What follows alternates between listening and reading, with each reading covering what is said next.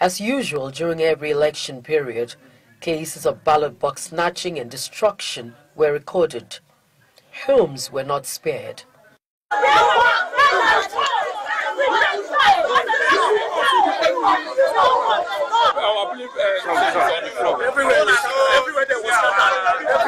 See, we, are, we went to our polling units to vote, but the talks came to threaten us.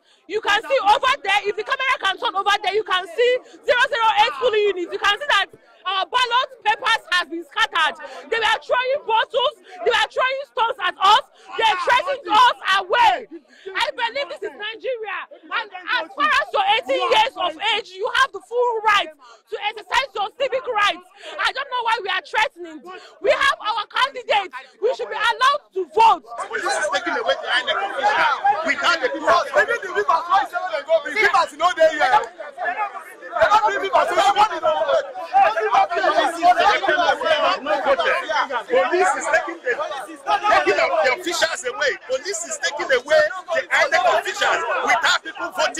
This.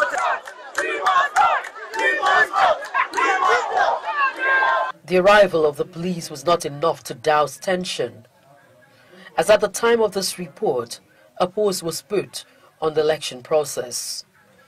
Loretta Chiogo, Plus TV News.